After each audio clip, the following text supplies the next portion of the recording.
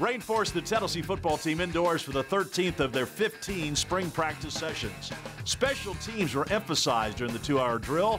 There are new rules this year in college football with the kicking game. Kickoffs moved to the 35 yard line, and touchbacks be placed at the 25 instead of the 20.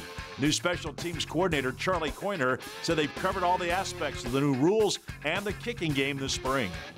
We tried to go back A to Z and uh, not leave any stone unturned and, and go and examine everything that we're doing. And it's been very thorough, and I, I feel really good about it. We've got everything on video that we need to have on video. It's not all perfect, but it gives us some time in the summer to go back and look at it correct it.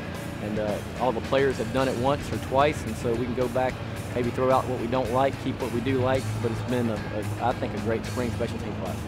Defensive coordinator Sal Sunseri continues to add new twists and turns to his 3 4 scheme every day. He's been impressed with how the players are putting in extra work after practice in the film room to learn the system, and it's paying dividends on the practice field.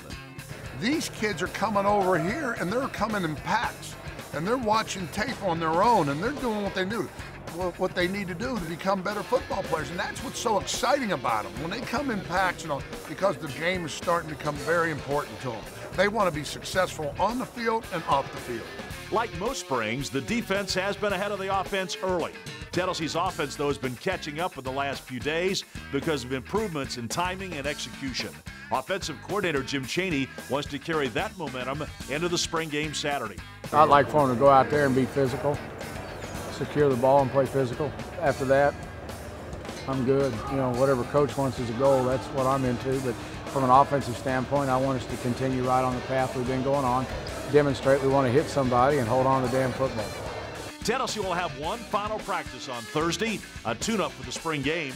The Vols wind up spring practice with the Dish Orange and White spring game Saturday, April 21st at Neyland Stadium. Fans Day starts at 12:15 with the kickoff set for 2:30. Parking and admission to the game are free. Vol Network coverage of the game starts at 2:15 Eastern, 1:15 Central Time. Reporting for the Vol Network, I'm Bob Kessler.